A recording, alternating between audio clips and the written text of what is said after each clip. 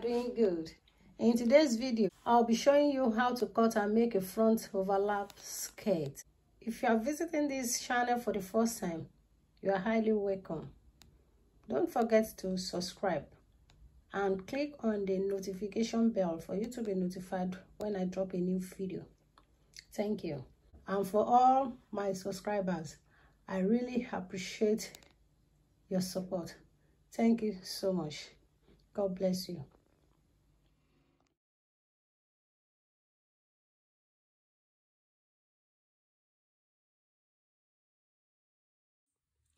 Based on the hip measurement we are using, we fold the fabric into two. The width of the fabric here will be 13 and a half. 13 and a half. You can see it here. The reason is because the hip measurement is 10.5 when we divide 42 by 4. So we now had 3 inches to hit. That makes it 13.5 inches. You can see that there are two fabrics here. This is the front skirt and this is the, the back one, the back skirt. You can see that the back skirt is more than is longer than the first one the reason is because we have to leave one inches for the zip so the length you are going to cut for the back skirt is going to be longer than the front one. We have to leave half an inch. Half an inch I'm going to rule across the line. What we are going to do first is to measure our waist to hip. So waist to hip if you take your measurements and measure yourself from your waist to hip is nine. So we are using nine for the hip. We are going to measure the waist here. You, you will place your measurement here.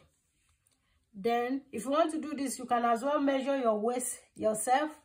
Whatever you get you will add two inches to it as an allowance. The measurement we are using for the waist here is 39 so 39 divided by 4 will give you 9.5 this is it here.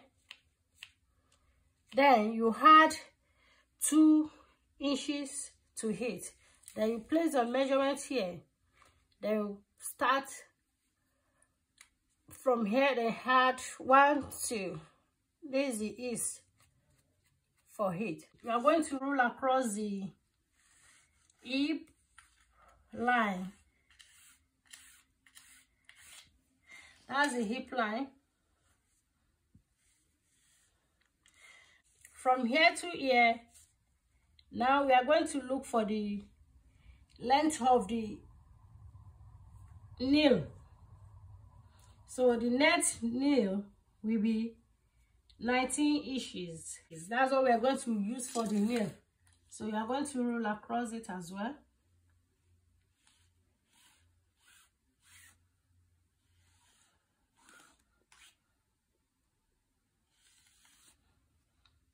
So the next thing now to do is to place your tape measure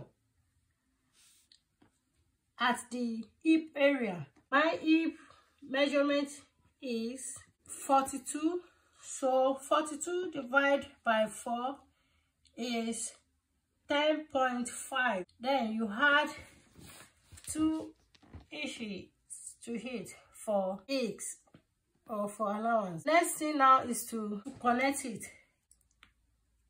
from waist make a slant curve slant curve to line my knee measurement is 36 so 36 divided by 4 is 9 it's 9 then i'm going to add three inches to it for allowance. So I will join it together.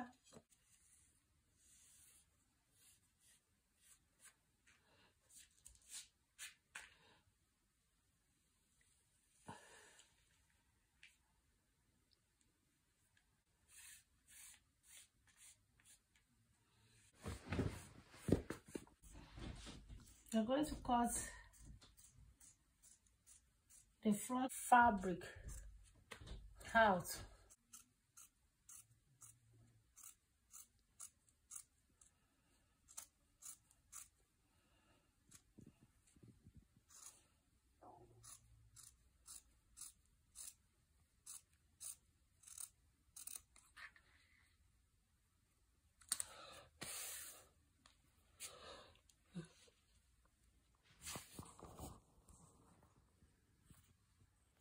So we are cutting the second mm-hmm. fabric.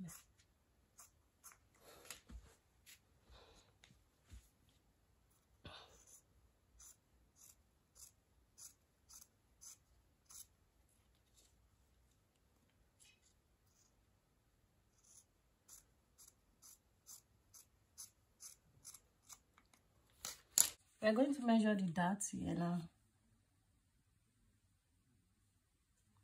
The dart is four and a half so I will notch so that I'll be able to know where the dart is. Then I will notch the zip area as well.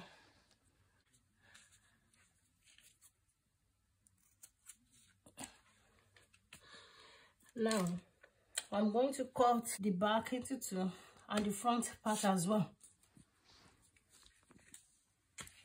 So I'm cutting both into two. Let's do the back first.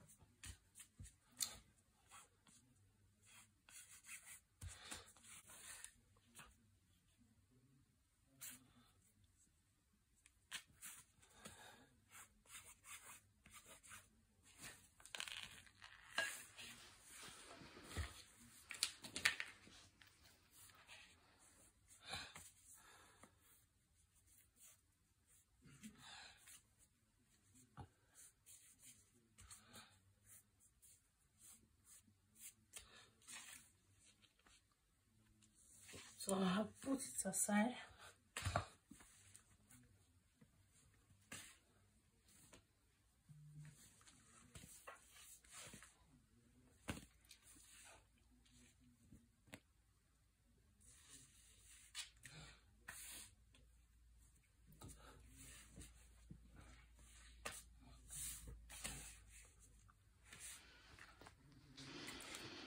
Now remember we are going to make a slit skirt. If you want to cut it into two you can as well cut it here like this straight down. But i want to let it to be in by 1.5 inches here. So i will start my line here straight down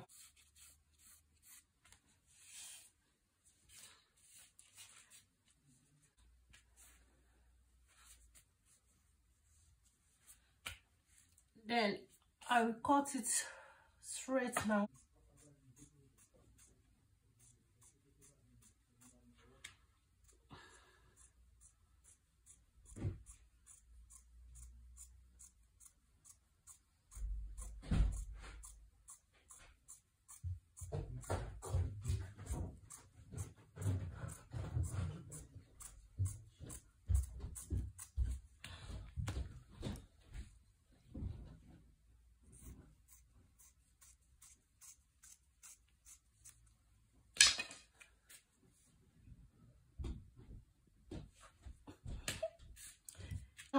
cutting now you have to decide where you want to place your slit. Now what i want to do i'm still going to cut a lining for the skirt. Then i have to let the left fabric to be on top of the right one. So this is how it's going to be. It's going to be like this this is how it's going to be. Now you can see that the left one overlapped the right side now. So if you want to do it now you know you have to top stitch it here after. You have to know how wide the opening will be. Like mine now i want it to be 12 so will measure it from here from up here then you stop at 12 if you want yours to open from 13 or 15 or 20 whatever you just put it here and mark it here. I want the opening of my slit.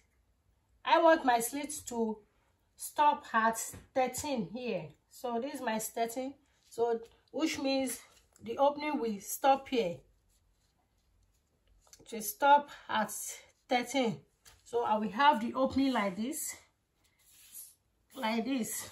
To be my opening will be like this but i have to like fold it in so that it can overlap like this. So if you open it it will be like this. Then i have to sew it here. And i will toss top stitch it here. So this is how it's going to look like. This is how the slit is going to look like after sewing. You can see how it's open.